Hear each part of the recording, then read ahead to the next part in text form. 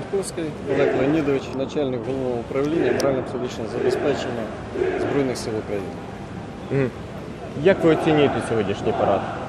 Ну, марширування. Сьогодні ще не парад, Да. це лише підготовка, чергова репетиція.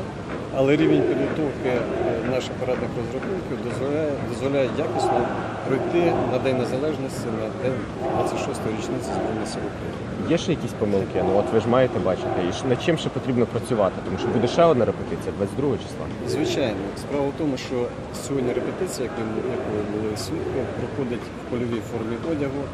А вже на генеральну репетицію 22 числа всі будуть в формі, та, яка була визначена саме на 24 серпня. Тому певні ті широковатості вони ще існують, але це незначні. Ну, вони будуть ще доопрацьовуватись і в пунктах постійної дислокації, і вже 22 числа конкретно репетиція.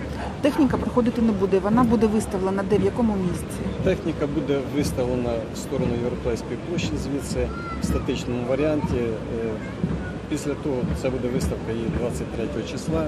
Тому всі мешканці Києва, гості зможуть підійти, ознайомитись. Е, Будуть присутні військовослужбовці, які знають тактику технічні характеристики, і розповісти про конкретний зразок військової техніки.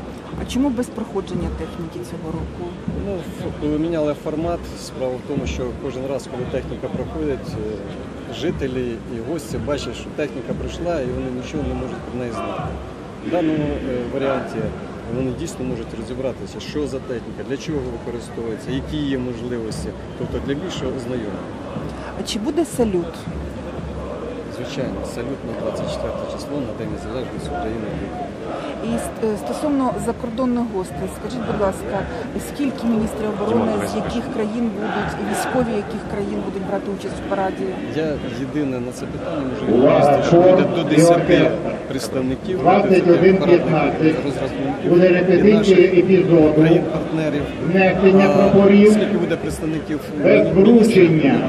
і вихід прапорів з Майдану під пісню за Україну.